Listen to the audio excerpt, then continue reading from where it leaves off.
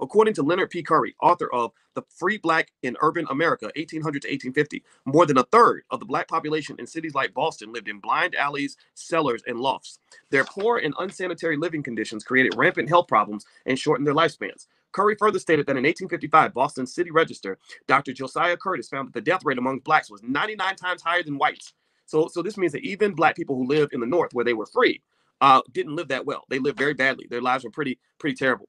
Um, so uh, let me see here. So today, 150 years later, the mortality white between uh, uh, mortality gap, excuse me, between whites and blacks has narrowed only a little social pathology and inferior living conditions, not genetics, continue to control the life expectancy of blacks. In the mid 1800s, the living conditions for free blacks were so desperate that nearly 50% had no choice but to seek some form of public welfare. In order to survive, large numbers of blacks publicly acknowledged that they were in a helpless state and were incapable of feeding, protecting, sheltering, and educating themselves and their children. Many black families became so desperate that they voluntarily re entered slavery to survive.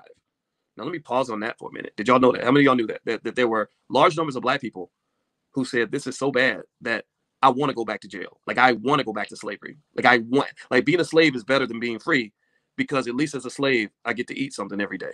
Right? I mean, I mean think about that. Like how bad does your life have to be that you that you want to be a slave again? You want to go back to slavery. I think that's really um significant. I mean, that's something, and that's not something that you get taught in school, right? You get taught that when you know black people were freed, that being free was always the optimal choice. But sometimes freedom, sometimes freedom can suck when you have no security.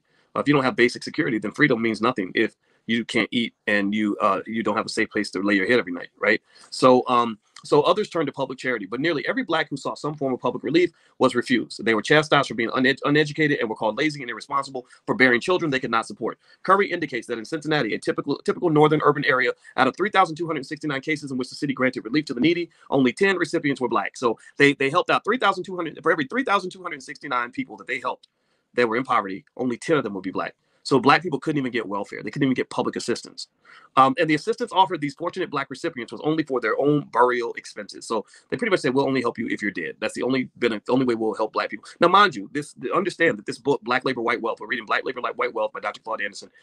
This book is is is something that um, doesn't just give you what you didn't learn in school, but it also gives you a, the clear case for reparations, right? It, it, it really helps you understand not the fact that, that reparations are called for. We know that. I hope we agree on that. But it goes deeper to say that part of the reason that they're denying you the reparations is is consistent with their consistent denial of other things that they've denied you for the last two, three, four hundred years, right? So their reaction to reparations, saying, "Oh, we're going to study for seven years. We might get around to it. We might not." Or you know, you lazy people need to go pick yourselves up by your bootstraps. Like all of that, that's a tradition, right? And what's also being said here that's really important is that he's talking about black people that lived in the North.